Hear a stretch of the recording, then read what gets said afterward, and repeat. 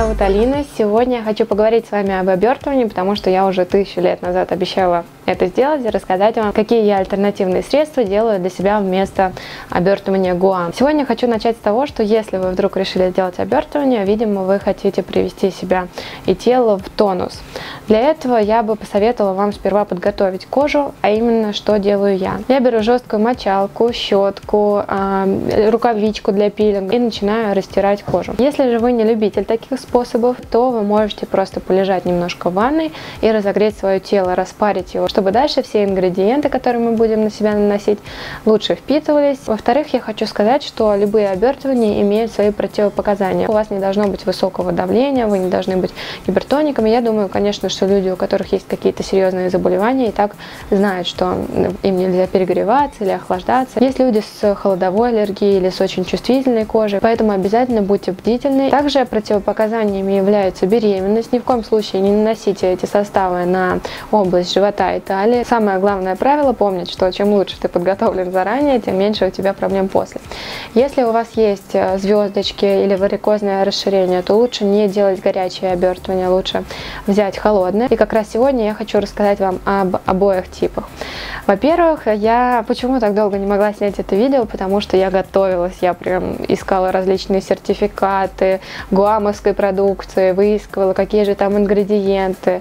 Собиралась закупить на сайте все эти компоненты, и в итоге я поняла, что выйдет это в районе 7 тысяч. И как-то это уже совершенно не похоже на бюджетную альтернативу обертывания гуам. В итоге я провела такую мини-аналитику, выбрала для себя те продукты, которые можно объединить в один. Например, в гуамовских масках содержится эфирное масло лимона, грейпфрута, апельсина. Все это цитрусовое, и, в принципе, воздействие на кожу у них почти одинаковое. То есть я решила сократить этот список до минимального количества и предложить вам несколько альтернатив, которые вы сможете найти дома. У меня есть несколько своих эффективных рецептов, которые я объединила с теми рецептами, которые я изначально подготовила для вас. Хочу сразу сказать, что в итоге я ничего дополнительно не заказывала. Чем проще будет рецепт, тем проще будет пойти и сделать их прямо здесь и сейчас. Итак, давайте начнем. Я расскажу вам свой самый действенный способ обертывания, как раз который я смиксовала. Начнем с горячего обертывания. Если вам такой не подходит, то внизу я оставлю на какой секунде начнется рассказ про холодное обертывание. В данном случае очень важно соблюдать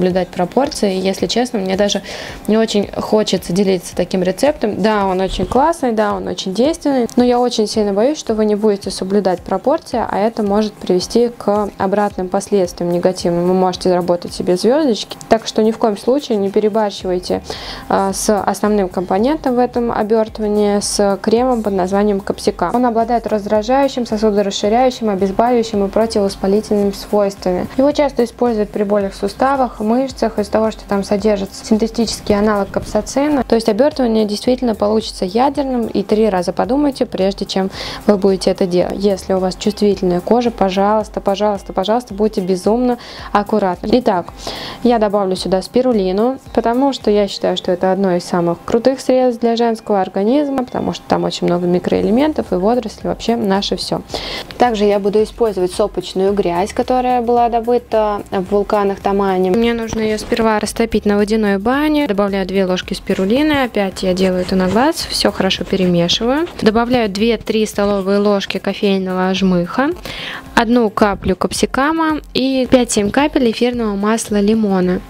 Воду я добавляю на глаз так, чтобы получилась консистенция кашицы. Ну вот, собственно, и все. Наше горячее обертывание готово. И я вам советую поступить так. А, когда вы начинаете курс обертывания, 10-15 процедур. Первые три дня делайте обертывание каждый день. Затем делайте его уже раз в два дня. Рецепт холодного обертывания я внизу оставлю весь список противопоказаний, которые, по крайней мере, найду. Будьте, пожалуйста, аккуратнее, прислушивайтесь сами к себе, чтобы потом не было никаких проблем. Итак, нам понадобится валдайская глина. Вы можете использовать любую, я буду использовать именно голубую. Также как вариант, иногда я использую микронизированные морские водоросли или сопочную грязь. Здесь основной действующий компонент это магния сульфат.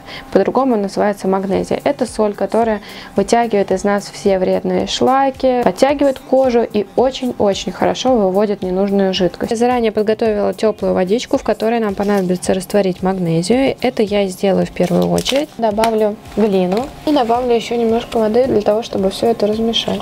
Затем добавляю туда около двух ложек спирулины, две таблетки мумиё, которые я буду размалывать с помощью специального такого контейнера. Теперь все это высыпаю и еще раз тщательно перемешиваю.